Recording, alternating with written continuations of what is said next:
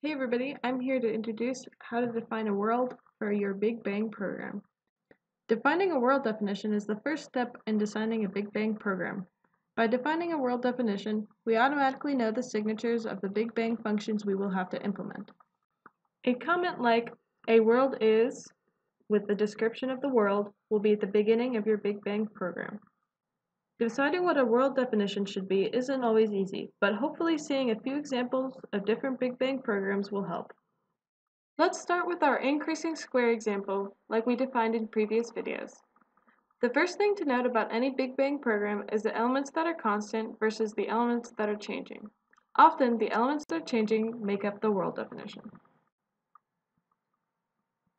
Your first thought may be that this world is an image, since the image of the square is changing. However, this idea is almost never correct. Images are hard to extract certain information from, and thus it is never recommended to make your world an image. However, what specifically is changing about the increasing square program is the size of the square. The size of the square is represented as a number. Thus, we can say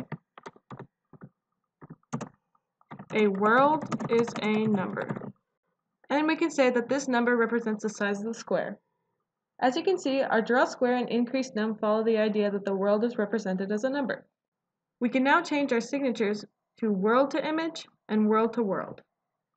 These signatures will stay the same for any Big Bang program with a toDraw function and an onTick function, no matter what type of world we have. Let's look at another example. This time, we have a car moving across the screen. Let's note that the image of the car doesn't change, and neither does the size of the screen. These would be good constant definitions to have at the top of your program. Again, to discover what the world could be, let's examine the changing aspects of this program. This time, the image is not changing size, but moving across the screen. Thus, the position of the image is changing. More specifically, the horizontal position. The horizontal position of any image on a screen is the x-coordinate. Thus, we can say that a world is a number, and that this number represents the x-coordinate of the car. We will definitely need a toDraw function, which has the same signature as any toDraw function. And since the image of the car is moving, the x-coordinate is changing on every tick, just as the increasing square was changing size on every tick. Thus, we need an onTick function, which has the following signature, as all onTick functions do. The program is not affected by key or mouse movements, thus we will not need these functions. Let's move on to another example. This time we have a rocket slowly landing on the bottom of the screen. Again, note that the image is not changing and neither is the screen size. The rocket image is changing position just as the car was, but this time it is the vertical position that is changing. This vertical position is represented as the y-coordinate on an image. However, the y-coordinate in images has 0 start in the top left corner. Thus, to make the rocket go down, the y-coordinate has to increase. Thus, we can write a world as a number and that this number represents the y-coordinate of the rocket. Again, we will need a toDraw and an onTick function with the following signatures. We need this onTick function to make the y-coordinate increase as time passes, making the rocket descend. If we press the spacebar in this program, the rocket actually goes ahead and lands on the bottom of the screen, as so. Thus, we need a function to work with keyboard events. I went over key event functions in a previous video. This key event function will have the following signature as all key event functions have. It takes a world, a key event, and outputs a world. This function will only change the world, the y-coordinate, whenever the key event is the spacebar being pressed, which is represented as a string with a space in it. Let's move on to a final example. This looks like a program that just places an image of a cat on the center of the screen. But if I move my mouse across the screen, the cat follows the mouse.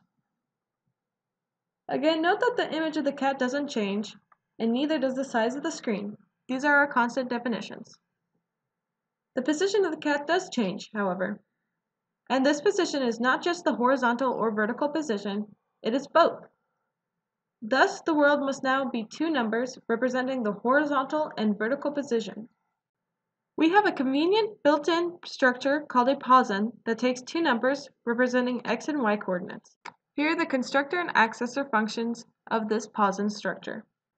Thus, the changing elements of this program is the horizontal and vertical position of the cat, which can be represented with a posn structure. However, as you can see, my mouse position is also changing. Thus, it would be convenient to store both the current cat position and the mouse position so the cat can move towards these mouse coordinates. We can define our own structure to hold two posns, one posn being the cat position and the other being the mouse position. Here we've defined a world to be a make world posn posn. The first posn represents the cat position, the second posn represents the mouse position. We get our two drawn on tick signatures as before, the onTick function moves the cat coordinates closer to the mouse coordinates.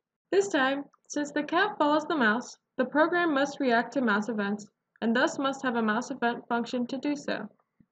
I covered mouse event functions in a previous video. The signature of this function is the same as any mouse event function. It takes a world, a number, a number, a mouse event, and outputs a world. Remember that the two numbers in this signature represents the x and y coordinates of the mouse event. Thus, provided that the mouse event is moved, we can update the world with the new mouse coordinates. I hope this video with lots of Big Bang program examples helped, and until next time.